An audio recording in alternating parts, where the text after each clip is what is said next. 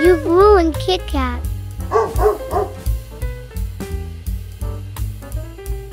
I will make Kit Kat cake.